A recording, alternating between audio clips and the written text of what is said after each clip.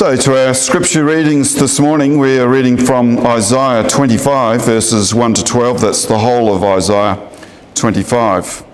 Uh, just a little bit of background in this.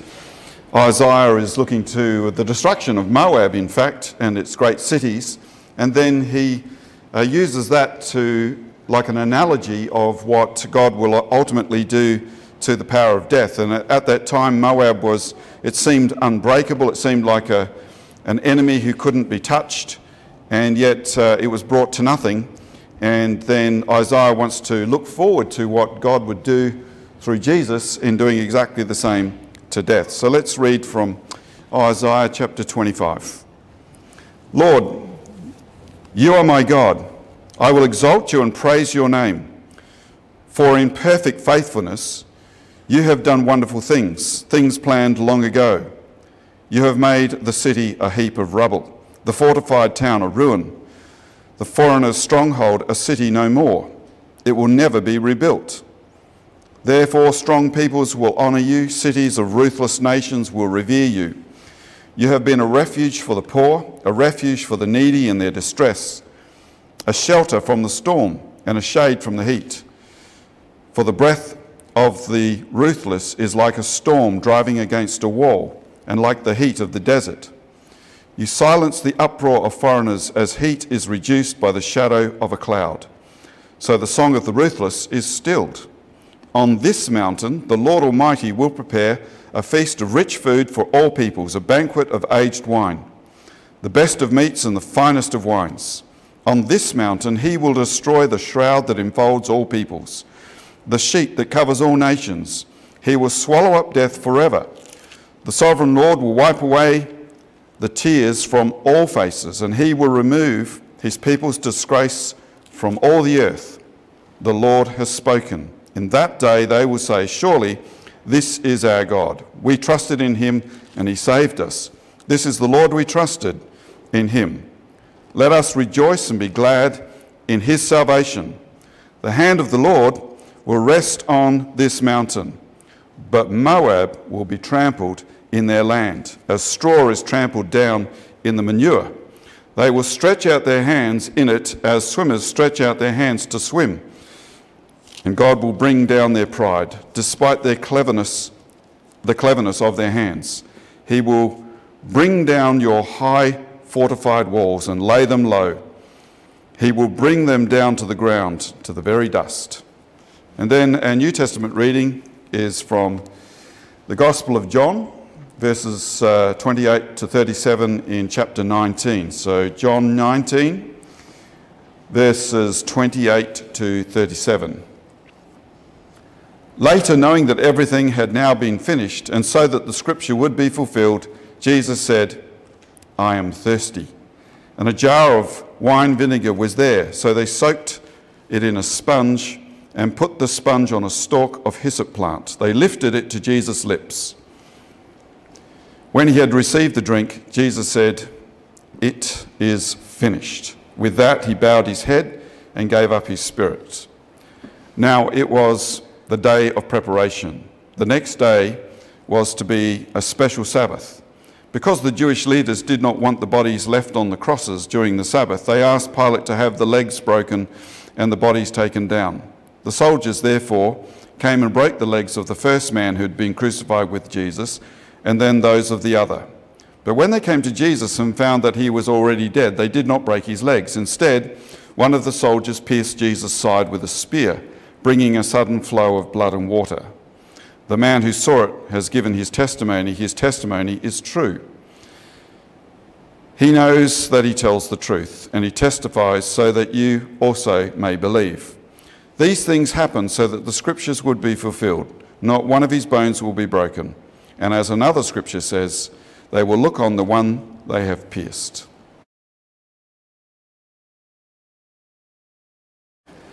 So today we're going to uh, obviously be um, looking at uh, the, the crucifixion of Jesus and what that means.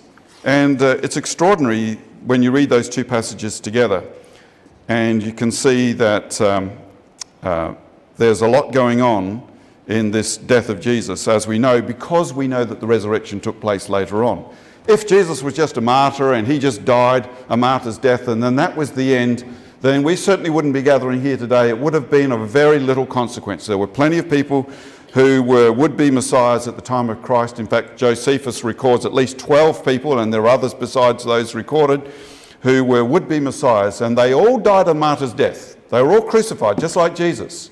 It's not crucifixion that makes Jesus' death special, it's Jesus that makes the crucifixion special. There were literally tens of thousands of crucifixions in the lifetime of Jesus. Every Jewish child saw people being crucified. That was uh, nothing special about that. It was just, in fact, the cross had a meaning, had a symbolic meaning at the time of Christ, and, and the meaning was we people in Rome, we're in control, we're ruling. So don't cross us, um, if you'll excuse the pun. But, um, uh, but when Jesus was crucified, he actually overcame that power, and that's what's so significant about it. But in the meantime, we are confronted with death until the resurrection, our own resurrection. We're confronted with death, but we're not left alone. We've got, some, we've got a reason to be hopeful. You know, some years ago, I conducted a funeral for a man who I'd only one year previously known as a groom. Um, I, had, I was privileged to be the celebrant at his wedding, but now I had the sad distinction of also being the minister at his funeral just one year later. Um, and the bride was a girl who had been a member of our congregation for many years, and her wedding day was a joyful and happy celebration. But one year later, there she was in the front row of our church, um, in, you know, in the ghastly thrall of grief, as she was forced to say goodbye to her husband of only one year. Um, only a couple of years later, I married her again to somebody else, so it all turned out well. But, but it, was, it was a tragic day, uh, and it was a terribly sad event. Um, and to be honest, in that moment, I've got to say, I just hated death, hated it with a vehemence. And I was just irritated by it, annoyed by it, and just in that moment, for the sake of that bride and for, for us all, I guess, I was just I just hated it. Just the concept of it, the reality of it, everything about it was just horrible. And there's nothing good to say about death. And, uh, and something like that is true in the life of Jesus Christ. Jesus hated death. Well, we're going to see that in just a little while. Uh, and he hated death as if it were almost like a person. And, he, and it was almost like he had a personal vendetta against death. Um, indeed, if we closely read the account of Jesus going to the wake of Lazarus after he had died, we soon discover that he hated death in a kind of an almost visceral, emotional way. Uh, in John chapter 11, I mean, yeah, John chapter 11, when Jesus was confronted with the grief of the friends of Lazarus who, was who were gathered to mourn his passing, um, it's really interesting the way that the scripture puts it. And let me just read a little bit of that account to you, where uh, in verse uh, 33, now you, you, pretty, you, you know the story of Lazarus where Jesus had been off with his disciples. He'd heard a report that um, Lazarus was, you know, on the point of death. But he could have gone back and healed him. In fact, people were urging him, why don't you go and and do what you do for other people. Why don't you go and heal your friend Lazarus? But he deliberately waited until not only was he dead, but he was well dead. I mean, properly dead. And in Jewish speak, if you're dead more than three years, I mean, three years, yeah, you're well dead after that. But three days, three days dead, because they had this belief that the spirit of a person would hang around for three days just to see if you did a good job of mourning their passing. so you'd hire professional mourners and that sort of thing. But anyway, that's a whole other story. But the point is that Lazarus died, and Jesus deliberately waited until after three days that he was dead, so that no one could say, oh, he was just a little bit dead. No, he was completely dead. He was dead, dead, dead, fully dead. And, and Jesus did that deliberately because he went there, and Jesus always did only what the Father told him to do. He didn't go there speculatively or hopefully or anything. He just went there at the command of his father. And he went there knowing that he was going to raise him from the dead. So Jesus wasn't there mourning the passing of his friend, knowing, just like I say, you know, it's all well and good for us to be mournful on Good Friday, but, you know, I kind of think it's out there now. This is old news that Jesus rose from the dead. Anyway, Jesus knew that he was going to raise Lazarus from the dead. So, so that the experiences that Jesus was having at the wake of Lazarus was not because he was mourning the passing of Lazarus. We've got to be clear about that. There's something else that's going on. And then he had a conversation with, with uh, Martha and so on. And, um, and then Jesus asked to be taken to the place, oh no, sorry. He was talking with Mary in verse 32. And Mary went to Jesus, where Jesus was. Then, as soon as she saw him, she knelt down at his feet and said, Lord, if you had been here, my brother would not have died. And that's absolutely probably true. Verse 33 When Jesus saw that Mary and the people with her were crying, he was terribly upset. Terribly upset. This is the, uh, the contemporary English version of the Bible. Um, in some translations, it says he was agitated, but he was terribly upset. What was he upset about? He wasn't upset about the death of Lazarus. He was upset about the effect it was having on Mary and the friends of Lazarus. And then in verse 34, he goes on and said, And he asked, Where have you put his body? And they replied, Lord, come and you will see. And Jesus started crying. And again, what was he crying about? Was he crying because he was in grief? And again, I, I want to say, no. Have you ever been so frustrated you've cried? I have. You know, you, know, nothing works out and everything's going wrong and you get terribly agitated and tears of frustration rolled out. I actually think that's what's going on here for Jesus. If you understand the, the, the meaning of the word uh, where, it's, where it's translated as terribly upset, it has a deeply emotional sense to it, and not one of grief, but of frustration and of anger. And we'll talk about that in a little while. But in verse 36, and the people said, See how much he loved Lazarus. And again, they were mistaken in their view. Some of them said, He gives sight to the blind. Why couldn't he have kept Lazarus from dying? And Jesus was still terribly upset. The same Greek word there again. So, and that's really interesting. So, so, in view of this, because of this, therefore, or thusly, that's what that word so could easily be put that way. So he went to the tomb, which was a cave with a stone rolled against the entrance. And then he told the people to roll the stone away, but Martha said, um, You know that Lazarus has been dead for four days. Like, he's not just dead, he's fully dead. And he probably is stinking by now. And as we know, Jesus went on to say, Lazarus, come out, and he was raised from the dead. Now, that's, that's all important that we see that because what you see here is that Jesus was absolutely hating death at that point. He wasn't in grief for Lazarus, knowing that he was going to raise him from the dead. Um, and, and if, you, if we look at some of the other translations of this same passage, in verse 33 in one translation, it says he, in the, in the King James, in fact, it says he groaned in his spirit. Groaned in his spirit. Um, uh, and, and was troubled. There's two different words that are, that are going on there. Um, and then in verse 38, it goes on again and says, Therefore, Jesus, again, groaning in himself, came to the tomb. Now, let me um, just look at what those words actually mean um, because if we rightly understood, the word groaned here could be used or translated as vehement, vehemently opposed, railed against, or to be critical of someone or something severely or angrily, or to indignantly snort with anger and derision in the act of forbidding someone sternly. Can, can you see that, that's what's going on? Jesus is groaning isn't just that he's going, oh, like that, but rather he's going, ah! Like, I'm so tired of this. I'm so sick of what death does. And he's, and he's vehemently, I hope I'm getting that across, annoyed with death,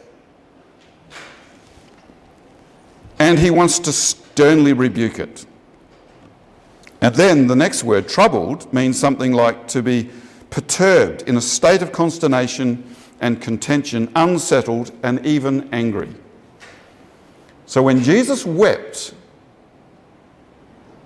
he wasn't crying tears of grief. He was crying tears of annoyance and frustration, and it was spilling out. He was keeping it all inside as well as he could, but it was coming out of his tear ducts. Um, have you ever seen someone doing that? Anyone who's married would have, no. have you ever had to install new software in your computer and it's not working? I was watching my son installing new software on his computer the other day, and uh, you know, I don't want to um, publicly shame him, but there was a lot of swearing involved. I completely understood what he was going through. I'd just done, I'd used exactly the same software and installed it on my computer not that long ago, and there was a similar amount of uh, frustration. How that expressed itself, I can't remember, but I, I do remember being annoyed. Or have you ever had a reason to uh, be annoyed with an umpire who's clearly in the wrong while you're watching a football game or something? And you just want to go out there and um, encourage them with some, some words of uh, how to judge things differently? Were you calm and collected when that happened? I don't think so. So, um, so Jesus, I believe, if we are to understand the meaning of these words properly, had a similar kind of understanding and feeling towards death and what it was doing to the people around him. I mean, death is, after all, it's horrible. It's just horrible. There's nothing good to say about death. It's, it wrecks everything. It ends marriages and families and friendships and partnerships and fellowships. It makes a mockery of all human ambitions. It crushes our hopes to dust. And no one in history has ever stood successfully against it. So, yeah, you have every reason in the world to be annoyed with death. The prophet Isaiah, in the passage we read out in Isaiah 25 and verse 7, he describes death as a shadow over humanity a shadow that brings disgrace and reproach to our humanity in verse 8. And, uh, but, but even there, in the long range view of Isaiah, as he looked forward to the coming of the Messiah, he believed that the day would come when he, that is God, will swallow up death forever, just as God destroyed the Moabite um, hegemony, he's going to destroy the hegemony of death. And the Lord will then wipe away all the tears, not just from the Jewish people, but from all faces. And He's going to, he's going to, to put forward a feast of the best food and the best wine on Mount Zion. And again, not just for the Jews, but for the whole world. And it was, as I've been saying all along, everything that God did for the Jews wasn't just for the Jews, but through the Jews for the world. And the ultimate fulfillment of that, as Isaiah would say in many other places, was one day a great king will arise. He'll be the Messiah, the one chosen by God to achieve all of this. And so he takes the story of Moab and then translates that to the story of what God will do with death. Um, and so, um, and similarly, in the story of Lazarus, Jesus has this contempt for death. And because he's so annoyed with it, it's he turns to, to Mary and says, Take me to the tomb. Let's get this over with, almost. That's what he's saying. He was not what you'd call composed at that point. He, I mean, Jesus is, is an emotional human being. We forget that sometimes. He didn't float around on a cloud, he was affected by the people around him, the things he saw. And he was affected by his love for us, but he was also affected with anger. Anyone who loves someone will be angry with the thing that's going to destroy the one they love. If someone came into my house to harm my children, I have no qualms in saying that they'd be either I'd be dead real quick or that they would be dead before they hit the floor. Because I'm motivated. I'm an emotional person. And Jesus is motivated and he's experiencing deep, troubling, agitating feelings at this point because of what death is doing to his friends and what it's done to Lazarus and what it's doing to the whole human race. And so, and so, therefore, Jesus went to the tomb. And it almost seems like he was keen to land a punch on the face of death as a foreshadowing of his ultimate victory over death on the cross and in his own vicarious resurrection, which he did for all humanity. He wanted to rough death up a bit before the big event. So at the tomb of, of Lazarus, Jesus snatches one soul from the jaws of death, but it was only a temporary reprieve. You know, poor old Lazarus died twice. I would have thought one death per person is enough, but not in, not in Lazarus' case. The ultimate victory would come later when at last Jesus cries out on the cross, as we read in the Gospel of John, It is finished. And those words are, are powerful. You know, many things finished in that moment, such as the race that Jesus had run, a, a, race of faithfulness, a full human life where every step in the race he took, he didn't stumble once. No human being has ever done that. From Adam onwards, human beings have tried to run a race of obedient faithfulness to God, to offer God a life that is perfect, and none of us gets out of the gates hardly before we stumble. But Jesus has faced down every testing, every temptation, every reason to, to, um, to go it alone, to say no to his Father. But in every circumstance, even in the Garden of Gethsemane, even after the 40 days fast, he faces down every temptation and he has completed a perfect, a perfect response to God. And with it, because of that, death is also finished, brought to an end. In fact, as uh, that same passage in John 19 is translated in the contemporary English version, it has it this way Jesus knew that he had now finished his work. He finished the job he came to do. And in order to make the scriptures come true, he said, I'm thirsty. A jar of cheap wine was there. Someone soaked it in a sponge with the wine and held it up to Jesus' mouth on a stem of hyssop plant. And after Jesus drank the wine, he said, Everything is done. In fact, in the Greek, you could actually perfectly translate it with the word perfectly. It is perfectly complete, would be another way to put it. It is completely and perfectly accomplished.